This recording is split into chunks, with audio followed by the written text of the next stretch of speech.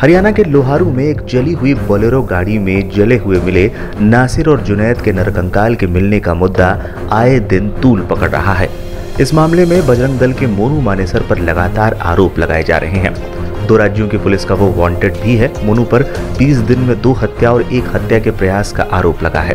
इधर, मोनू के कई वीडियो सोशल मीडिया पर वायरल हो रहे हैं। मोनू मानेसर का पूरा नाम मोहित है और वो मानेसर का रहने वाला है। वो पिछले 10-12 सालों से बजरंग दल से जुड़ा हुआ है। वो पिछले कुछ सालों से गौ तस्करों से मुठभेड़ में मुख्य चेहरे के तौर पर सामने आया है। मोनू सोशल मीडिया पर काफ़ी एक्टिव रहता है और उसका अपना यूट्यूब चैनल भी है। यूट्यूब चैनल पर दो लाख से ज़्यादा सब्सक्राइबर भी है। साथ ही ट्विटर और फेसबुक पर भी मोनू काफ़ी एक्टिव रहता है।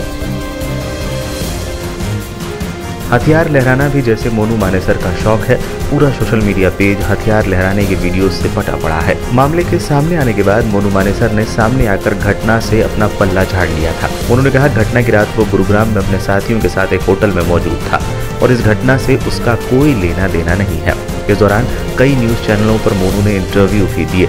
अभी तक मोनू की गिरफ्तारी की कोई खबर नहीं आई है। जिस शख्स को दो राज्यों की पुलिस खोज रही हो, वो वीडियो बनाते हुए घूम रहा हो, ये बात कुछ हजम नहीं होती। हालाँकि, मोनू ने अपने बचाव में कई सीसीटीवी फुटेज भी जारी किए हैं, जिसमें वो अपने घर और होटल में नज़र आ रहा है। मोनू ने अपने बयान में भी कहा था, वो घटना वाली रात अपने दोस्तों के साथ था।